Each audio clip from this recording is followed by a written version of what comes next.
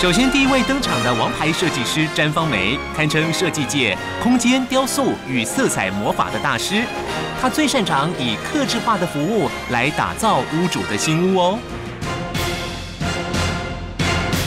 哎，设计师，那我们今天的实习工作要从哪里开始呢？通常一天的开始，我会先从打理自己的门面开始，因为我觉得，呃，我们的门面是人家看我们的第一个 image，嗯，就像我们跟客户一样。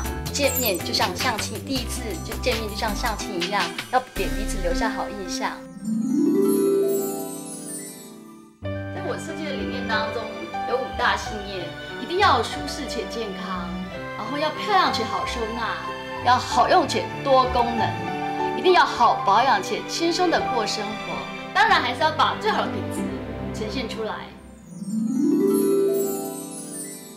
小鱼，你看，这就是我们每天上班的空间。哇，设计师的办公室也好典雅哦。一定要的喽，这次就是我觉得呢，有好的环境才会有好的心情，帮客户做好的设计。哇，这样的环境我都好想来上班哦。欢迎你加入喽。好。Hello，大家来开会喽。啊，小鱼欢迎你来，请坐这边。OK，我们今天来 double check 一些窗帘的颜色跟一些开关的搭配哈。那个黄小姐家的窗帘，那它的壁纸呢？主墙部分是这一片嘛？它每是这片。每天一定要开会讨论各项装潢的细节，包括选材与软件的搭配，让屋主不用再劳碌奔波，设计师一手包办打理，真的让小鱼感到印象深刻哦。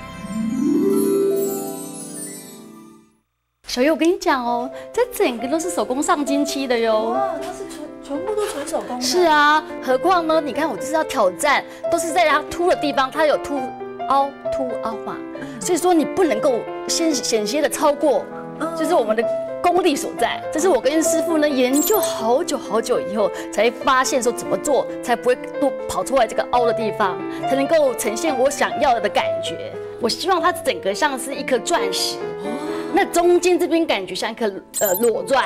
对，整个呈现是整个空间是非常 bling bling 的感觉。我们是故意不做很饱和的，哦，纯粹在讲手工上漆的可贵。哦，对，古典华丽的风格加上手工上漆的精致工法，对装潢一定要求完美的张芳梅设计师，这一次又将展现她不凡的功力。